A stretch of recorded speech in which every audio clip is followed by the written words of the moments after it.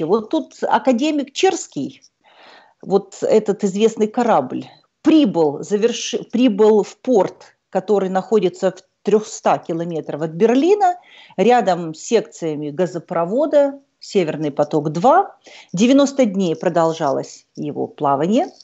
И все-таки прибыл да, этот, эм, этот корабль, который призван, я так понимаю, завершить строительство Северного потока-2. Но совершенно неожиданно появилась такая информация, что Германия не вывела Северный поток-2 из-под норм Европейского Союза. То есть не освободила его от соблюдения норм третьего энергопакета. Я очень внимательно читаю все, что я выписывала, потому что это настолько для меня сложно, что теперь я просто очень вас прошу, объясните, что происходит вообще вот со всеми вот этими вещами.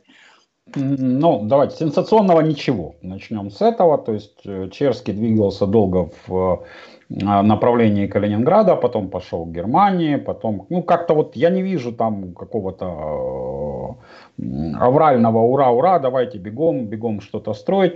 Значит, что означает решение немецкого оператора, это означает, что вот те изменения к третьему энергопакету, которые были приняты в прошлом году, если я не ошибаюсь, то есть изменения э, к энергодирективе, они предполагают, что действие третьего энергопакета распространяется в том числе и на морские газопроводы из третьих стран.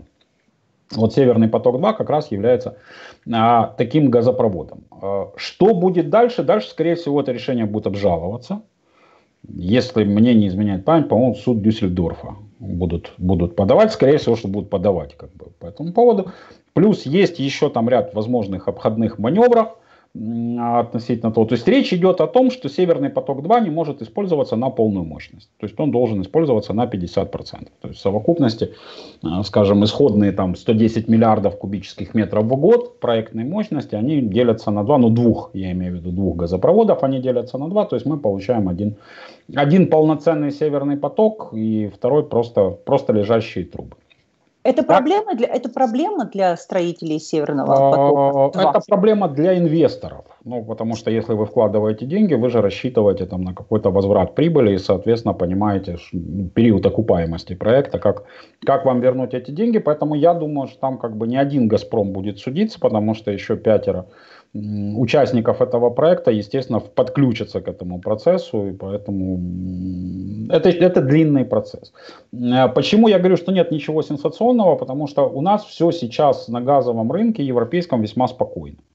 То есть нету никаких там колебаний, низкий спрос, экономическая рецессия, всем грустно, скучно, все спят, много никто как бы газа не потребляет. Соответственно, вся эта история может длиться, ну, еще год так это точно без каких-либо там экономических и прочих, и прочих последствий. То есть Северный поток-2 будет достраиваться, суд, суды будут судиться. Там интереснее есть момент, там опять как бы у них э, возникла заруба с датчанами относительно разрешений.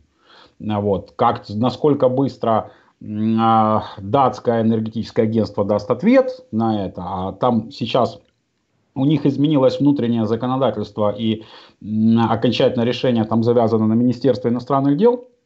Ну, то есть называется наша песня Гарнанова. То есть они там будут разбираться теперь с этим новым судном, а можно, а не можно. Ну, в общем, идут, идет геополитическая борьба, ничего не остановлено, но она идет как бы вот уже не в столь как бы сказать, активном режиме, да, там, таком яростном. Ну, все идет, идет спокойно, то есть будем, будем, что называется, будем посмотреть. То есть пока ни для нас, ни для России, ни для Европы это никакого существенного э, значения не имеет. Вот на, на данный момент времени имеется в виду. Валентин, э, вот скажите, пока все эти разбирательства и суды будут продолжаться, Россия может достраивать Северный поток? Или, или вот продол, продолжить работу с Северным нет, потоком? Нет, это не так. Может, будет только после вот утряски, усушки всех этих исков, согласования всех разрешений ну, и всего датчанами. прочего. Им с датчанами надо согласовать, это безусловно. Как бы вот это тормозит строительство. А судебные разбирательства, они могут идти хоть два, хоть три, хоть пять лет. Это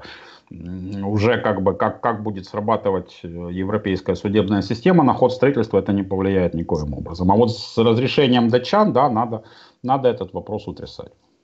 Вот теперь еще один вопрос. Германия, которая так хотела построить Северный поток-2. Почему же все-таки вот она пошла э, вот на такой шаг? А ну как пошло? не вывела. Или Я... она обязана была. Или это, ну так они должны были тогда либо просчитать это на старте, ну почему тогда вот так случилось? Ну это же процедура. Ну это же не Украина. Вот если нам это выгодно, да, мы эти суды, как бы, законодательство вертели пере Сейчас быстренько в парламенте переголосуем, и все у нас будет по-другому. Или закон Нет. новый примем. Или закон, закон новый примем, да, что можно стать прокурором без образования. Мы же это все проходили. Как бы. Поэтому вот принципиальное отличие европейской демократии как раз в соблюдении процедур. Они соблюдают процедуры. То есть, если объективно э, действие э, энергодирективы должно распространяться, оно будет распространяться. Если как бы стороны доведут, что допустим, можно сделать исключение, для этого есть соответствующие юридические основания, почему речь идет о, о суде. Хотя, конечно, после Стокгольма там есть, есть вопросы как бы относительно беспристрастности арбитров. Ну, еще раз, время покажет, в данном случае процедура соблюдена, пошли дальше. А возможно и было принято это решение для того, чтобы отбелить его, например, через решение суда. И такой вариант тоже вполне возможен для того, чтобы больше не было уже никаких оснований, скажем, снова вводить какие-то ограничения для Северного потока-2. Ну, это мы узнаем только со временем, как, ну, как вариант такой мы тоже можем рассматривать.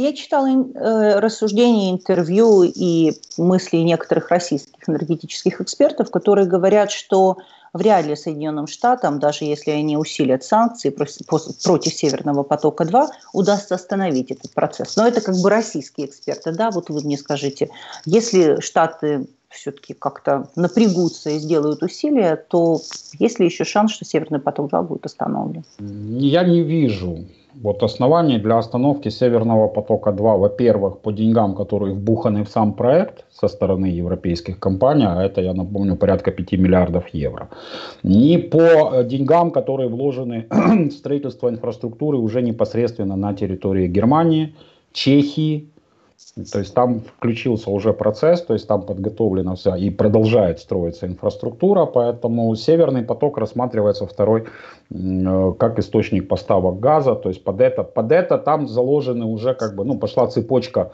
бизнес-планов по, по разным э, участникам, да, по разным странам.